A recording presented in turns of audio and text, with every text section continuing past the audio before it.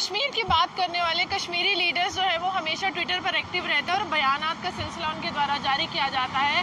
अब जिस तरह से एक घटना हुई थी चौदह फरवरी को, जहाँ पर फिदाइन हमला किया गया था सीआरपीएफ के जवानों पे तो वहाँ पर रोज जो था जम्मू में भी देखने को मिला शांतिपूर्ण जो प्रदर्शन थे, उन्होंने उग्र प्रदर्शन का रूप ले लिया। और यहाँ पर हिंसक झड़पें भी हुई, जहाँ पर कश्मीर के लीडर्स ने ये कहा कि कश्मीरी लोगों की सिक्योरिटी आप इंश्योर कीजिए। राजा सिंह जी से भी बात की गई। हर एक लीडर ने जो था, ये दिखाने की कोशिश की कि हम कश्मीरियों के साथ है लेकिन जम्मू की जनता की बात किसी ने नहीं की और जिन लोगों ने तिरंगा उठाया हुआ था, उनकी बात किसी ने नहीं की। अब बात की जाए महबूब मुफ्ती की तो महबूब मुफ्ती कहती हैं कि पाकिस्तान में हाल ही में कमान संभाली है, जो इमरान खान है, उनको एक मौका दिया जाना चाहिए, बातचीत के रास्ते खोलने चाहिए। विक्रम रंधावा जी से बात करके जानेंगे किस तरह से लेते हैं स्टेटमेंट को सर क्या लगता है कि पाकिस्तान को मौका दिया जाना चाहिए? देखिए, कश्मीर को आके हवाले करने के बाद अधिकतम कश्मीरी जो लीडर हैं, चाहे वो नेशनल कॉन्फ्रेंस से या वो पीडीपी से हैं, वो कश्मीर छोड़ के ट्विटर पे आ चुके हैं। और वो कश्मीरियों को फेस करने की हालात में नहीं है। महबूबा मुफ्ती तो वैसे ही बुखलाई हुई है क्योंकि पीडीपी खादमे के कगार पे है। अब उसको और कोई सारा दिखता नहीं है। उसको लगता है कि जो मेरे पाकिस्तानी एड है, जब पाकिस्तानी स्पॉन्सर्ड जो कश्मीरी बैठे हैं, उनके फेवर में कोई ना कोई बयान देकर मैं एक सिंपति अर्ज़ करने की कोशिश करती है। और ज़्यादा प्यार अगर उसको इमरान के प्रति जाग रहा है जाग तो होता है तो मुझे लगता है महबूबा मुफ्ती को भी पाकिस्तान भेज देना चाहिए।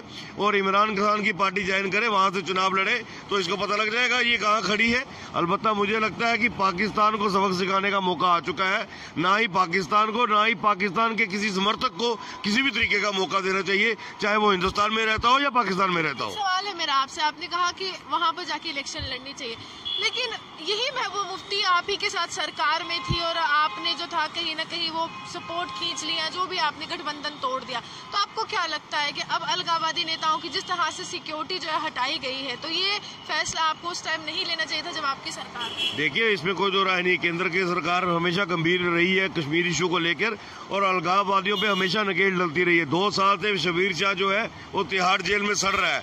तो ये कश्मीरियों पे है ना ये जिस तरीके से अंकुश लगा रही है, कहीं ना कहीं महबूबा को तब से पेट में दर्द लगी हुई है। और हम सरकार में भी रहे, हम सरकार में रहने के बावजूद भी हमने कश्मीरियों पे और पाकिस्तान के समर्थकों पे, अलगाववादियों पे पूरी नकेल डाली हुई थी। अब बेहतरीन निर्णय केंद्र सरकार ने लिया है। कश्मीरियों के, कश्मीर, पाकिस्तान स्पॉन्सर्ड लोगों की सिक्योरिटी विड्रा हो गई है। मुझे तो लगता है इनको इमीडिएटली जो है गिरफ़्तार करके तिहाड़ जेल में फेंक देना चाहिए, इनको छोड़ना नहीं चाहिए। हमारे साथ सबूत साझा कीजिए, हम कार्रवाई करेंगे। लेकिन सवाल ये उठता है कि उड़ी हमला, मुंबई हमला, पठानकोट हमला, हमने ये सारे सबूत साझा किए, तब पाकिस्तान की सरकारें कहाँ थी और अब इमरान खान वही मुझे लगता है कि इमरान खान और पाकिस्तान के साथ अब सिर्फ़ मिसाइलें साझी की जा सकती है, अब कुछ साझा नहीं होगा। राजनाथ सिंह जी ने स्पष्ट कर दिया है, कोई सबूत पाकिस्तान को नहीं दिया जाएगा। पाकिस्तान को उसकी औकात जो है हमारी सिक्योरिटी फोर्सेज सिखा देंगे और पिछले एक दो दिन का आर्मी के लोगों के जिस तरीके से बयान आए हैं, कश्मीरियों को भी समझ आ जाना चाहिए। हमने साफ़ कहा है, पत्थरबाज को भी गोली से भून डालो, आप चार पत्थरबाजों को गोलियों से भूनोगे चार हज़ार पत्थरबाज जो है अपनी माँ की कोख में वापस घुस जाएगा दोबारा आपको नहीं देखेगा। साहब सजाद लोन कहते हैं कि जिन लोगों ने कश्मीर में पत्थरबाजी की उन पे पीएसए लगाया गया लेकिन जम्मू में जिन्होंने कश्मीरों पे की उन पे पीएसए मुझे लगता है सजाद लोन साहब को दुरुस्त करना पड़ेगा। कहीं ना कहीं जम्मू के अंदर जो पाकिस्तान जिंदाबाद के नारे लगाने वाले हैं उन लोगों के ऊपर जो है जम्मू के लोगों ने अपना रुख दिखाया है। अगर कहीं वो दोबारा सड़कों पर दिख गए तो उनको मौत के घाट भी उतारने जम्मू के लोगों को अच्छी तरह आता है। लोगों के साथ ही क्यों कश्मीरियत की बात होती है? कश्मीरी लीडरशिप इस तरह से साथ आती है और भारतीय जनता पार्टी क्यों नेशनलिज्म की बात देखिए भारतीय जनता पार्टी नहीं है। भारत में पैदा होने वाला हर व्यक्ति किसी भी जात समुदाय से हो उसे भारत के प्रति प्यार दिखाना पड़ेगा।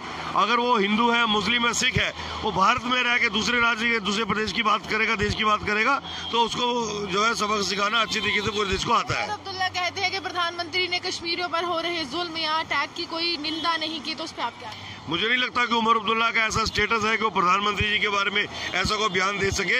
अलबत्त प्रधानमंत्री जी ने पुलवामा के एपिसोड के बाद जो बयान देना था, वो पूरे देश को दे दिया है और उन्होंने बताया है कि इसका जो बदला है, वो अच्छे तरीके से लिया जाएगा।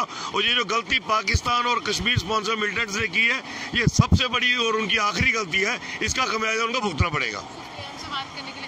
विक्रम रंधावा जी थे साफ़ तौर पर कहना था कि पाकिस्तान अपनी नापाक हरकतों से बाज नहीं आ रहा, लेकिन हाँ केंद्र सरकार सक्षम है हर एक चीज़ का बदला लेने में। पहले सर्जिकल स्ट्राइक की गई और अब सर्जिकल स्ट्राइक टू या फिर उससे भी बड़ा कदम जो है, वो भारत सरकार उठा सकती है। और सेना को खुली छूट है सीआरपीएफ के जवानों को खुली छूट है। जम्मू कश्मीर पुलिस तैनात है और हिंदुस्तान, या फिर मैं कहूँ, जम्मू कश्मीर में हाई अलर्ट जो है, अभी भी घोषित किया गया लेकिन हाँ जनजीवन जो है, जो अभी कहीं ना कहीं पटरी पर आ रहा